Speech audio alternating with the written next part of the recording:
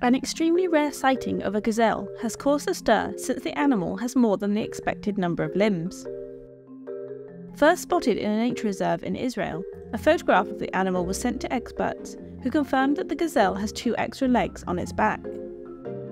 The animal is a male mountain gazelle, which are listed as endangered by the IUCN Red List.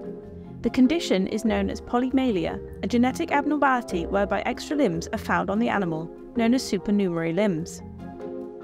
Despite the two extra limbs on the back of the male, the gazelle is doing well and has even managed to breed with the females.